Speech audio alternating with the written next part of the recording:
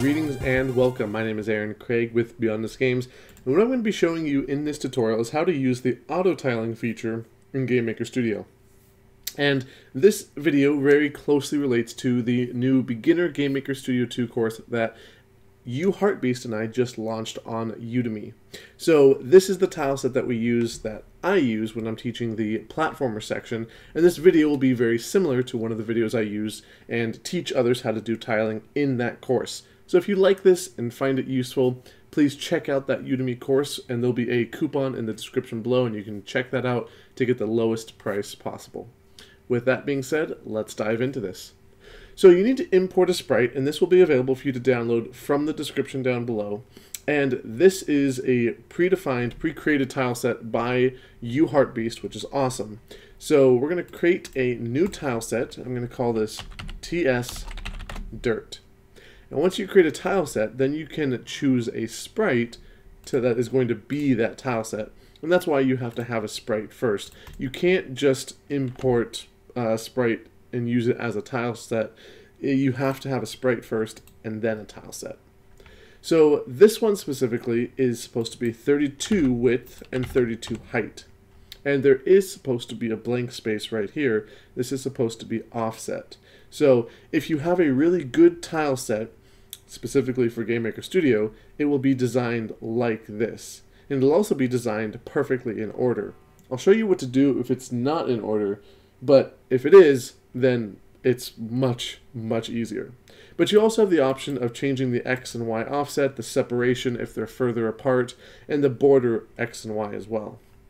So let's go to auto tiling down here, this button underneath the editors, and we're going to enlarge this so that I can show it to you a little bit easier. And here we go. Now, here we have a blank space that is going to be the default for either one. So you can do a 16 set or a 47 set. And you can see here that the first one is blank right here. And in the 16 set, you can tell which ones are supposed to go where a little bit easier. So the very first one is all grayed out. So that is the full gray one that'll be in the middle of everything. And then it shows you which ones are supposed to be. So you can see if you if I zoom in here, this second tile set, this is kind of like an edge border, and this is this would be the very edge, and this whole section would be the interior here. And you can see that it relates to that because it's kind of like a half circle on the edge over here, and then it has the same on that side, and so forth. So if you're doing the either one, 16 or 47, you need to choose the tiles that relate to that correctly. So for this specific tile set, I'm going to go ahead and delete that. For the 47, it just goes directly in order. So all we need to do is just go through and click on it.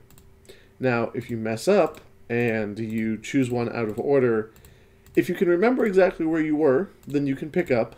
If not, you'll probably need to just start over again because there's a lot and it's really hard to tell which ones you were on because they start to look very similar depending on the tile set and these ones can be a little difficult to tell.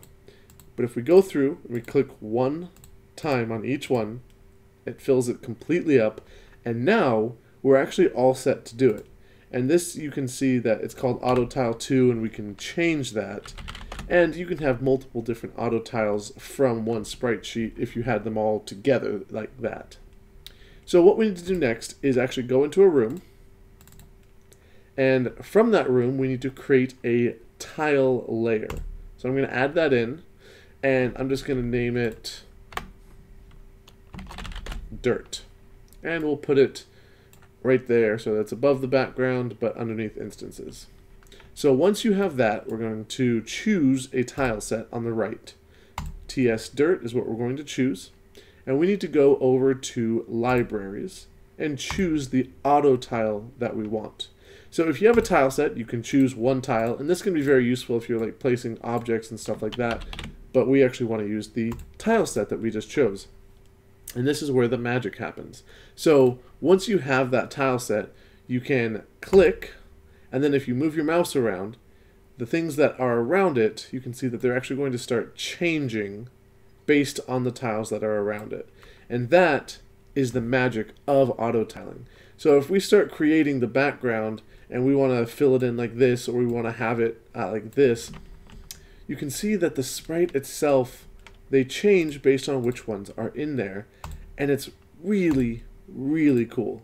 It's very handy, it's very useful, and it saves a lot of time if you're just trying to create the environment from a fairly simple tile set. This gives it uh, an automated property, but it still allows you to come in and custom build the levels and just have it do some of the magic behind the scenes. Once you have a good tile set set up, you can create rooms so much faster. It is easier once it's there. If you have a bad tile set sprite sheet, it can be pretty difficult to get set up. But once you get it working, setting up the levels and doing all of that is much, much easier. It's very, very cool how it does that. And that's really all there is to it. You can see that you can have multiple auto tiles from there, and if you want to choose a different one, then you just need to change the tile set over here, and then you can choose a different one from there. You can have multiple tile layers, so you can integrate multiple tile sets with multiple auto tilings if you wanted to do something like that. But once you have it set up, then you just choose it from a tile layer and put it in. And that's all you need to do. It's awesome. It makes level design much easier, in my opinion, and it is a really cool feature that is in GameMaker Studio 2, not in 1.4. So that's a pretty big reason to upgrade if you've got a lot of level design and a good tile set to go with it. So that's what I've got for you today. Again, this is directly from the new Game Maker Studio 2 course that I have. So please check that out with the link in the description below. Let me know what you think of it. If you check it out, I would love to hear from you. But that's what I've got for you today. So, as always, have fun making great games, and I'll talk to you later.